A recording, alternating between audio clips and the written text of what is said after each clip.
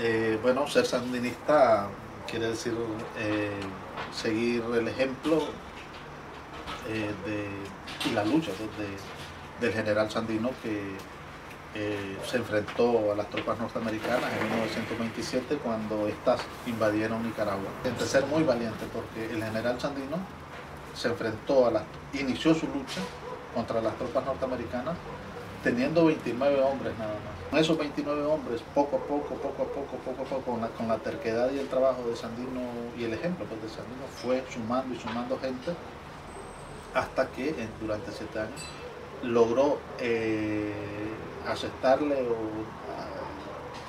dar la primera derrota al ejército norteamericano en el mundo. La primera derrota fuera de territorio norteamericano eh, de los Estados Unidos fue mm, la guerra de San Sandino. Antes de la revolución, bueno, Nicaragua era un país eh, azotado, digamos, eh, por una dictadura feroz, respaldada, financiada, entrenada, sus ejércitos, por los Estados Unidos. esta dictadura pues mantuvo al pueblo nicaragüense, a los trabajadores, a los obreros, a los campesinos, a las mujeres, en, una, en un estado de marginación total. Eh, la pobreza, el analfabetismo, la explotación salarial de los trabajadores de la ciudad y del campo era mm, brutal. El analfabetismo es, la herramienta para, dominar a un pueblo, o sea, es la herramienta de la que se han históricamente eh, eh, han manejado los poderosos los diferentes poderes en el mundo para manejar a la población.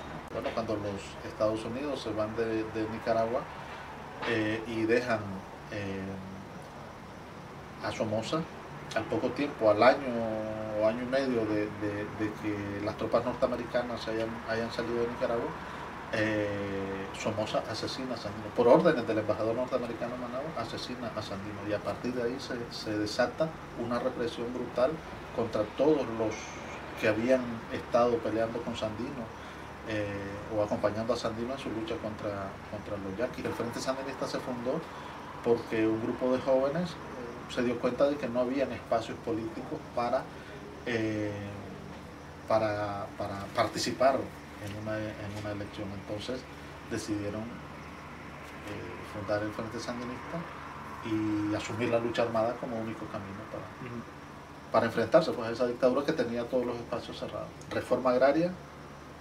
educación gratuita para todos, eh, salud para todos, integración de la mujer eh, en la sociedad, en todos los ámbitos económicos, sociales, culturales, y eh, establecer unas condiciones dignas para los trabajadores del campo y la ciudad, y comenzar a a aplicar políticas o a intentar aplicar políticas que pudieran sentar las bases para un desarrollo integral de la sociedad.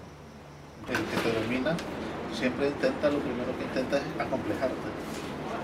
Y nosotros, bueno, es que, es que yo eso lo explico muchas veces a la gente aquí, que muchas veces aquí no se entiende por, qué el papel de Fidel Castro, por qué el papel tan radical. Es que en América Latina, si tú quieres hacer cambios, no te dejan otro espacio, no te dejan más espacio que hacerlo, eh, o, hacerlo de otra manera más que radicalizando.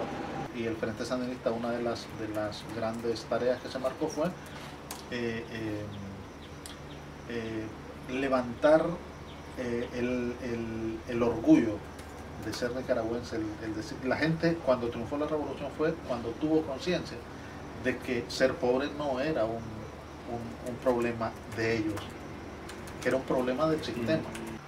Con tristeza porque el país venía funcionando muy bien en, términos eh, de desarrollo humano, en términos económicos, en términos de infraestructura, de carreteras, de, escuelas, venía funcionando.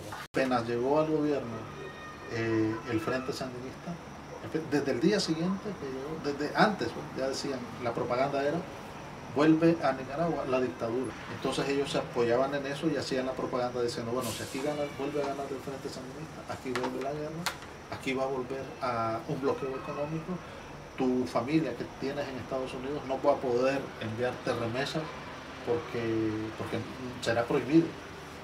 Entonces la gente tuvo miedo durante un tiempo, pero a la, hubo un momento en el que el Frente Sandinista siguió haciendo política, trabajando y, preparando el terreno para, ganar las elecciones y cuando ganan las elecciones eh, se centra en resolver todos los problemas que, estaban acosando al, país.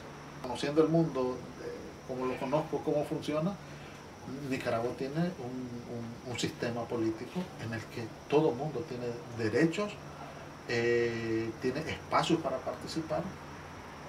Y lo único que, no han querido y no han podido es organizarse, los, los adversarios no se han podido organizar, no han sido capaces, imagínate casi en 11, 12 años, no han sido capaces de poder plantear un programa político del país. Eh, desde hace ya varios años, esta gente lo único que viene haciendo es eh, promoviendo un discurso de odio, de odio contra el sandinismo, de odio contra Daniel Ortega, de odio eh, y, de, y de descalificación de los resultados.